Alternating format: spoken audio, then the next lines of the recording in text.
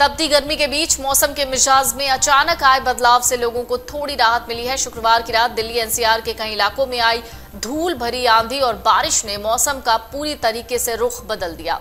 इसकी वजह से कई जगह पे पेड़ टूटकर गिर गए, जिससे यातायात बाधित हुआ। न केवल दिल्ली एनसीआर में, बल्कि उत्तर भारत के कई राज्यों में पिछले कुछ दिनों में हुई बारिश से मौसम तो राहत देने वाला है। वहीं पश्चिम विक्षोभ के कारण भारत के कई राज्यों को अगले कुछ दिनों में भीषण गर्मी से राहत मिलने की संभावना है।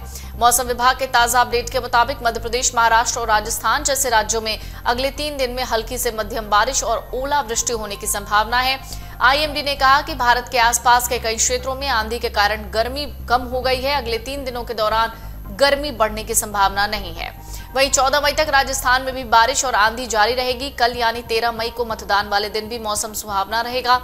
जिसको देखते हुए पूर्वी मध्य प्रदेश, विदर्भ और छत्तीसगढ़ के अलग अलग स्थानों में तेज हवाओं के साथ ओलावृष्टि होगी। वहीं मध्य, महाराष्ट्र और पश्चिमी मध्य प्रदेश में भी मौसम ऐसा ही बना रहेगा। उत्तर प्रदेश में धूल भरी आंधी के साथ ही बारिश होने लगी है। कई जिलों में बारिश की वजह से लोगों को तपती गर्मी से राहत मिली तो कई जगह पर बारिश नहीं होने और सिर्फ़ आंधी चलने से मुसीबत हो गई। राज्य के अलग अलग जिलों में पश्चिमी विक्षोभ का असर दिख रहा है। अब मौसम विभाग ने 12 मई के लिए भी मौसम का पूर्वानुमान जारी किया है। ऐसे में रविवार को कई जिलों में बारिश का ऑरेंज अलर्ट है। उत्तर प्रदेश में मौसम ने करवट ले ली है। यहाँ के कई जिलों में बारिश होने से लोगों ने भीषण गर्मी में राहत महसूस की तो कुछ जगहों पर लोगों को मौसम का कहर झेलना पड़ रहा है। पीलीभीत में आकाशीय बिजली गिरने से एक किसान की मौत हो गई। अब लखनऊ मौसम विभाग ने रविवार 12 मई को भी प्रदेश में 3 से 40 किलोमीटर प्रति घंटे की रफ्तार से आंधी चलने की संभावना जताई है।